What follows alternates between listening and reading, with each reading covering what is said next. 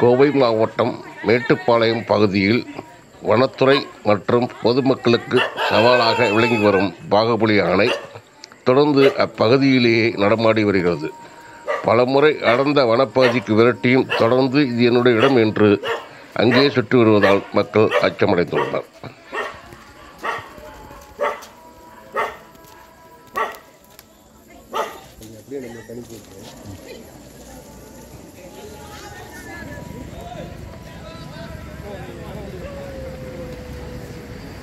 அண்ணா தாண்டிடுச்சுண்ணா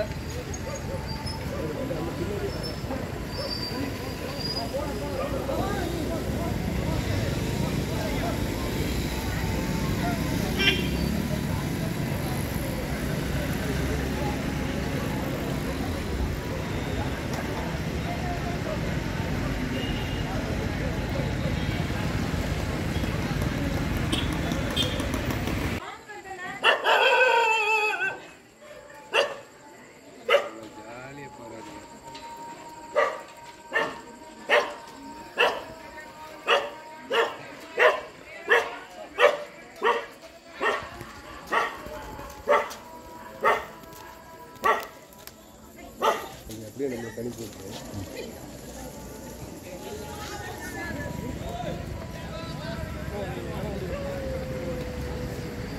அண்ணா தாண்டிடுச்சுண்ணா